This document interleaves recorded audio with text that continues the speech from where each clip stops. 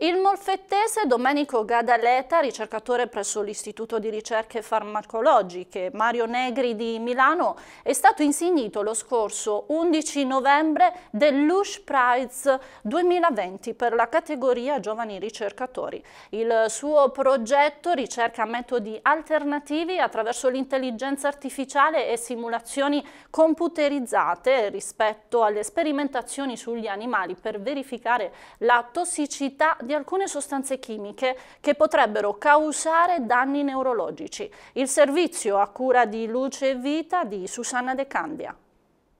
Siamo a Molfetta, la città d'origine del dottor Domenico Gadaleta, ricercatore presso l'Istituto di Ricerche Farmacologiche Mario Negri di Milano, insignito lo scorso 11 novembre del Lush Prize 2020 per la categoria Giovani ricercatori.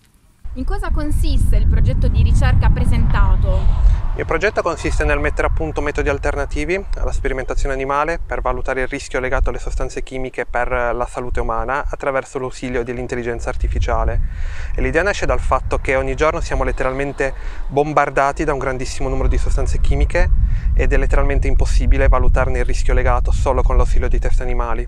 In questo i metodi computazionali ci vengono in aiuto perché ci permettono di simulare con l'ausilio di un computer il comportamento di queste sostanze chimiche in brevissimo tempo e con un uh, ammontare minimo di risorse e quindi ci permettono di riconoscere le sostanze che possono essere pericolose prima ancora che esse siano prodotte e messe in circolazione.